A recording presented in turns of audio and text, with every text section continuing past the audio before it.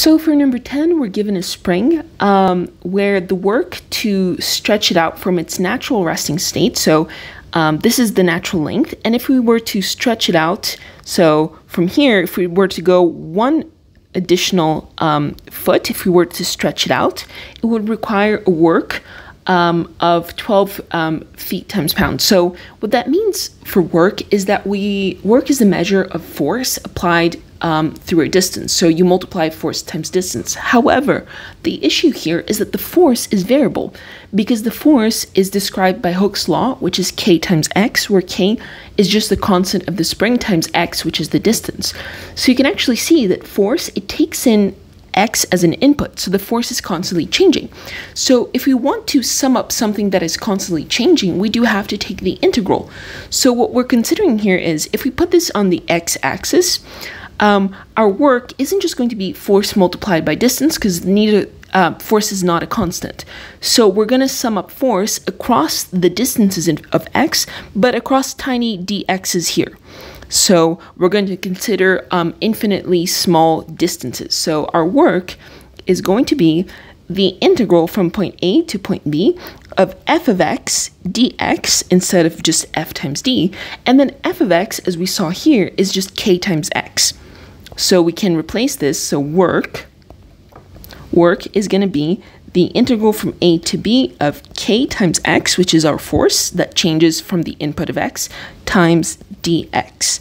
Um, so once more, this may seem a little bit repetitive, but I want to make sure that you guys get it. The reason that we're um, using the integral to calculate work is because the force itself is changing. It's a variable force that depends on distance x. So we're doing the summation over infinitely small intervals.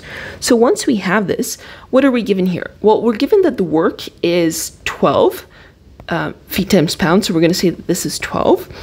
And required to stretch a spring one foot beyond its natural length. So our boundaries here are going to be zero because it begins in its natural length, zero, where there's no stretch, going all the way up to one foot, so from zero to one, um, of k times x dx. So if we integrate this, we can just put the k outside because it's a constant. So I'm just going to rewrite this as k being outside, and it's just the integral of x dx.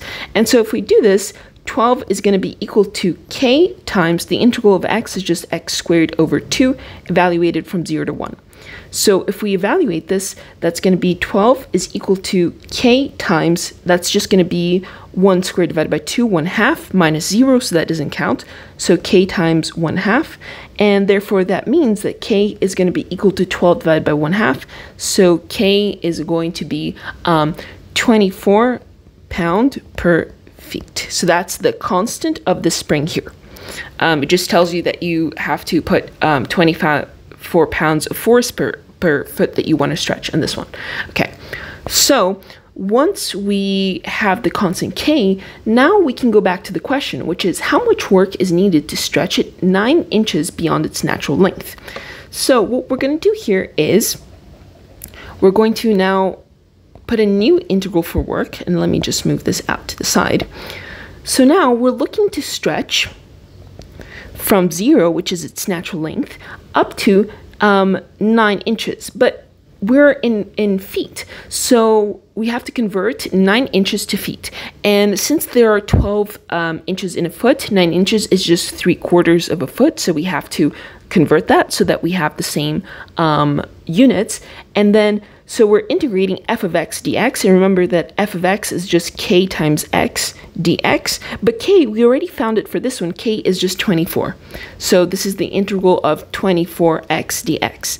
And so if we calculate this, the work is going to be, the integral of 24x is going to be 24 times x squared divided by 2 from 0 to 3 quarters.